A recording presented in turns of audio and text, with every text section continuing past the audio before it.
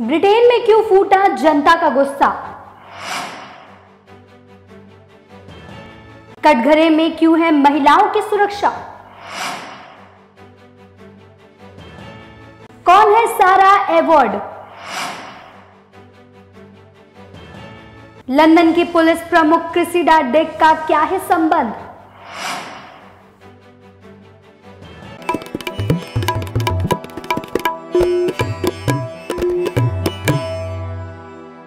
नमस्कार, मैं रुचि पांडे आपका स्वागत करती हूँ दुनिया दरबार में। ब्रिटेन में बीते कई दिनों से महिला सुरक्षा को लेकर प्रधानमंत्री बोरिस जॉनसन की सरकार और पुलिस प्रशासन घेरे में है। वहाँ की जनता में महिला सुरक्षा को लेकर लगातार जन आक्रोश बढ़ रहा है।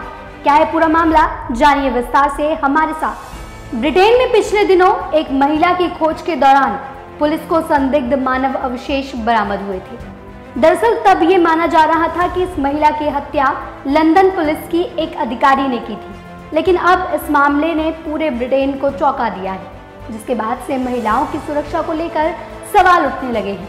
तैतीस साल की सारा अवार्ड तीन मार्च को साउथ लंदन में एक दोस्त के अपार्टमेंट से घर लौटते हुए गायब हो गई। लंदन पुलिस की प्रमुख क्रिसिडा डेक ने बुधवार को कहा कि सारा के लापता होने की जाँच करने वाले अधिकारियों ने कैंट के पड़ोसी काउंटी के एक शहर एशफोर्ड के पास वुडलैंड से जो बरामद किया, वो मानव अवशेष जैसा लग रहा है।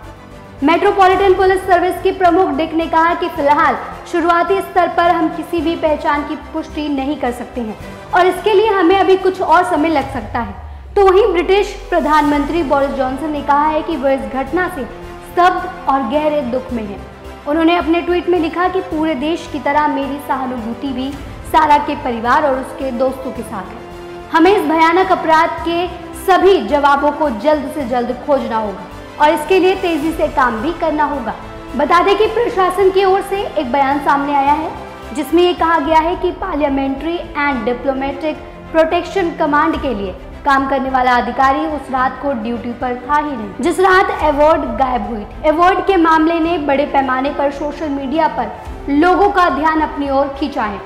राजनेताओं से लेकर सार्वजनिक हस्तियाँ अपनी नाराज़गी भी जता रही हैं। ब्रिटेन में हुई इस घटना को लेकर कई पत्रकार और हस्तियाँ निंदा कर रही हैं, जिसमें कहा गया है कि एक पुलिस पर महिलाओं और लड़कियों के खिलाफ हिंसा के आरोप लगे हैं। ऐसे में पुलिस की जाँच पर भरोसा नहीं किया जा सकता।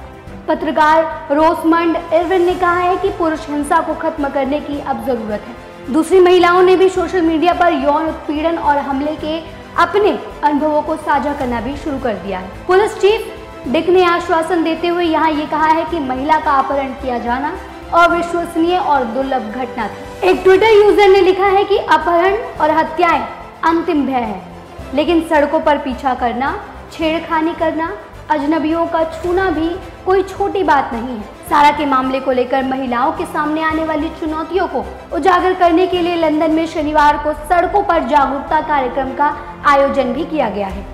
हाल ही में आई संयुक्त राष्ट्र महिला यूके की एक रिपोर्ट के मुताबिक, ब्रिटेन में लगभग सभी युवा महिलाएँ यौन उत्पीड़न का शिकार होती हैं। ये रिपोर्ट 1000 से अधिक महिलाओं के सर्वे पर आधारित थी, जिसमें 18 से 24 साल की संतानवे फ़ीसदी महिलाओं ने कहा कि उन्हें यौन उत्पीड़न का सामना करना पड़ा। वहीं 25 और उससे ज़्यादा उम्र की महिलाओं में 80 फ़ीसदी महिलाओं ने कहा कि उन्हें सार्वजनिक रूप से परेशान किया गया है। ये तो थी आज की मुख्य खबर, अब बारी आज की सुर्खियों की पहली सुर्खी, नेपाल में एक सरकारी ऑफ़िस के बाहर प्रेशर कुकर फटने से भयंकर हादसा हो गया है। जानकारी के मुताबिक घायल होने में पाँच पुरुष और तीन महिलाएँ शामिल हैं। यह हादसा रविवार दोपहर के समय लैंड रेवेन्यू ऑफ़िस के फ़र्स्ट फ्लोर पर हुआ है। दूसरी सुर्खी म्यांमार में दिन ब दिन हालात बेकाबू हो रहे हैं। अब म्यांमार की जद्दा द्वारा एक चाइनीज़ फैक्ट्री में आग लगाने के बाद वहाँ की सेना ने खुलेआम प्रदर्शनकारियों पर गोलियाँ बरसा दी। जिससे 50 प्रदर्शनकारियों की मौत भी हो गई है। तीसरी और अंतिम सुर्खी, पाकिस्तान में इमरान खान ने संसद में अपना विश्वास मत हासिल करने के बाद एक बड़ा फैसला किया है, जिसके अनुसार पाकिस्तान में कट्टरपंथियों द्वारा हिंदू मंदिर तोड़े जाने वाले सभी आरोपियों को वहाँ रह रहे हिंदुओं ने माफ़ करने का फैसला किया है। इस समझौते पे इमरान की पार्टी के विधायक और कई प्रभावशाली मुस्लिम नेताओं के शामिल होने से सवाल भी उठ रहे हैं। ये कि हिंदू की दरिया दिली है या उनकी मजबूरी। फ़िलहाल के इस रिपोर्ट में इतना ही, फिर जुड़ूँगी आपके साथ विश्व की ताज़ा तरीन खबरों को लेकर। बस आप जुड़े रहिए हमारे चैनल मीडिया दरबार के साथ। धन्यवाद।